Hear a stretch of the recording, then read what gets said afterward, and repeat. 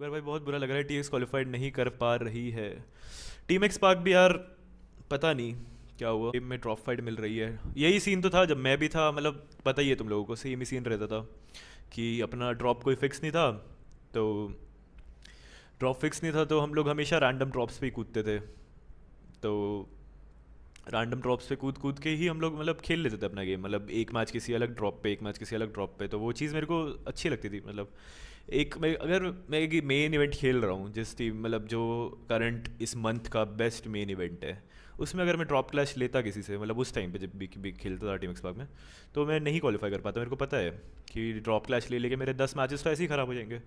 तो इसलिए मैं हमेशा रैंडम ड्रॉप से कूदता था वहाँ से ही रोटेशन करता था। फाइट हर मैच में है। नहीं नहीं कभी कभी कभी ना कभी तो ड्रॉप क्लियर हो ही जाएगा। या तो वो उनको छोड़ना पड़ेगा या तो ओआर को छोड़ना पड़ेगा या फिर जीटी को छोड़ना पड़ेगा। जो भी टीम उसको छोड़ना ही पड़ेगा ड्रॉप ऐसा तो होगा नहीं कि भाई वो भी कूद रहे हैं वो भी कूद रहे हैं और पूरा एक साल वो कूदे ही जा रहे हैं। ऐसा तो होने ही नहीं वाला है। कोई ना कोई तो छोड़ने ही वाला है। तारीख करबे two T X T X छोड़ने का यार टी एक्स के साथ मैं मतलब बता बता ही सकता हूँ वैसे क्या हुआ लेकिन थोड़ा अजीब ही कुछ हुआ। मतलब मेरे को भी समझ नहीं आया क्या हुआ। लेकिन जो हुआ views on Mavi come back Mavi ने भी यार बहुत अच्छा कम बैक किया है। मावी का मतलब ऐसा सीन हो गया था कि भाई कोई प्लेयर मेरे को मतलब जैसा पर्सनली कम्युनिटी के अंदर बात होती थी जितना मेरे को पता है कोई प्लेयर उसके साथ खेलना ही नहीं चाहता था जैसा सीन हो गया था उस टाइम पे।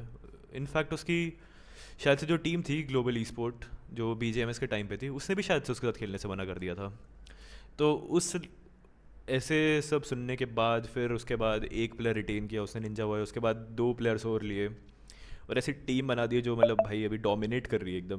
फिनिशेस के मामले में वो या फिर पॉइंट के और अभी जो दो मेजर सारे दोनों खेलने वाला है क्यू ई एस एल अभी ने बहुत ही अच्छा कम किया मतलब ड्रीम्स मेरे साथ जितना टाइम खेला और ऐसा हमारे में भी हुआ था मतलब जैसे रेडबुल हमारा ख़त्म हुआ, उस टाइम पे ऐसा मतलब इतना अच्छा नहीं गया था। तो बीएमपीएस के टाइम पे भी बात हुई थी कि आई चेंज करते तो आई चेंज करते हैं तो ड्रीम्स को आई करने देते हैं। ऐसा मतलब हमने बस ऐसे ही वो सोचा था कि प्लेयर्स इन प्लेयर्स ही, कि मतलब करके देखते हैं क्या, कैसे ट्राई होगा।